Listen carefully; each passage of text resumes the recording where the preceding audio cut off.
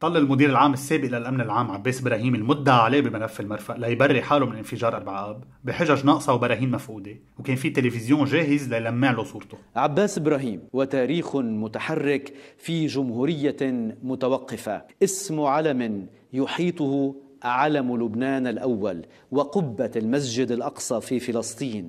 بخفة تهرب إبراهيم من مسؤوليته عن الانفجار. الأمن العام مسؤول عن الأشخاص وليس عن بضائع كان ممكن للمحاور يسأل اللواء عن مهام الأمن العام بمكافحة كل شيء بمس بالأمن وعن الجهاز كضبط عدلية كان لازم يخابر القضاء أو يبلغ مجلس الأمن المركزي بملف النيترات. بس المطلوب كان تهريب إبراهيم من الأسئلة مثل ما تم تهريبه من التحقيق. كان في خطر إنه يوقفني القاضي بيطار مثل ما وقف مدير الجمرك مثل ما وقف ضباط بالأمن العام مش مسؤولين عن هذا الموضوع. هيك صار احتمال التوقيف مبرر الهروب من التحقيق والمحاور اللي كان عم يسأل عن التحقيق صار فجأة مهتم بحماية المقامات كان بيحمر الوضع هكذا خطوة نظرا لحيثيتك نظرا لما تمثله. الخفة الأكبر بمقابلة إبراهيم كانت اتهامه القاضي طارق بيطار بالتسييس مثل ما عملت كل الطبقة السياسية اللي كان بدها تخلص من التحقيق وتبيع أهالي الضحايا بأسرع وقت. يعمل وفقا لضميره وفقا للقانون اللي أنيط به تطبيقه بعيدا عن أي أجندات أخرى. مين كان ورا القاضي بيطار بده ياخذ آه مين وراه ما بعرف. أنا بعرف إنه